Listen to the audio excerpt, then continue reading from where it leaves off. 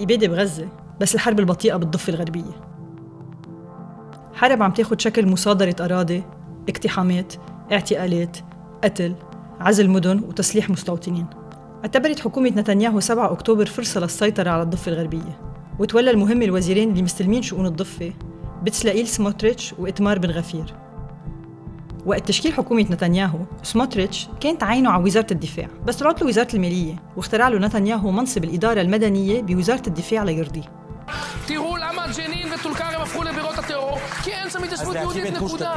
حول سموتريتش المنصب لمندوب حكومي عن كل الشؤون المدنية بالمنطقة جيم اللي بتشكل 61% من الضفة. منح هذا المنصب سموتريتش الصلاحية الكاملة لتخطيط وبناء المستوطنات وهدم البنى الفلسطيني غير المرخص علما أنه 95% من طلبات تصريحات البنى للفلسطينيين بتنرفض.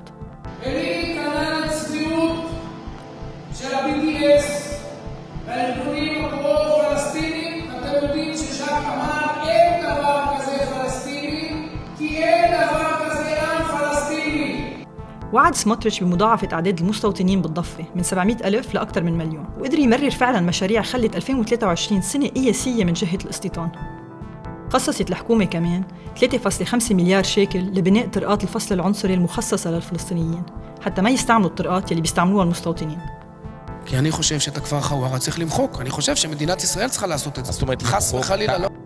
الحليف الثاني بائتلاف نتنياهو الحكومة هو إتمار بن غفير زعيم حزب قوة يهودية حول نتنياهو بن غفير من مستوطن متطرف لشخصية سياسية وعطيه وزارة الأمن القومي وزارة بن غفير مسؤولة عن الشرطة ومصلحة السجون وهي الجهة الرسمية لترخيص وحيازة الأسلحة للمدنيين يعني المستوطنين שר, מאיפה הלאפה הזו? מכלא קציעות או מנפחא? בכלא קציעות ובנפחא אין לאפות. אבל uh, עכשיו הגיע הזמן לאכול לאפות טריות.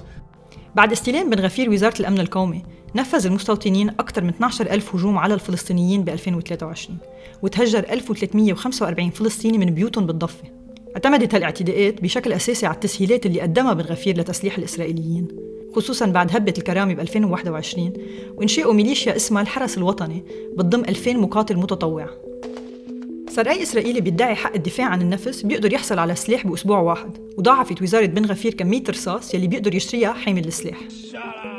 المستوطنين بالضفة هن أكثر المستفيدين من تعديلات بن غفير لأنه عندهم أفضلية على غيرهم من الإسرائيليين بالحصول على سلاح من 100 مدينة عندها أعلى نسب تراخيص أسلحة 86 منها هن مستوطنات بالضفة. הזכות שלי, של אשתי, של הילדים שלי, להסתובב בכבישי יהודה ושומרון, יותר חשוב מזכות התנועה של הערבים. סליחה, מוחמד, אבל זו המציאות, זו האמת, זכות החיים שלי קודמת לזכות השר בן גביר.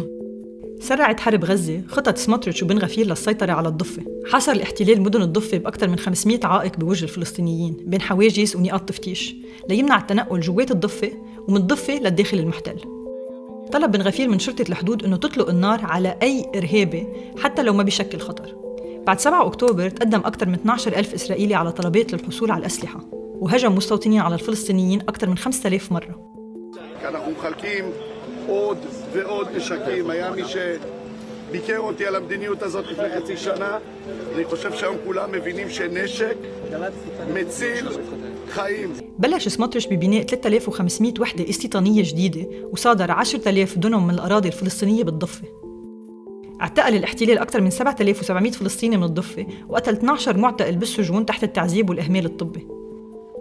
داهم الاحتلال مدن مخيمات الضفة بشكل شبه يومي بحجة القضاء على خلايا حماس.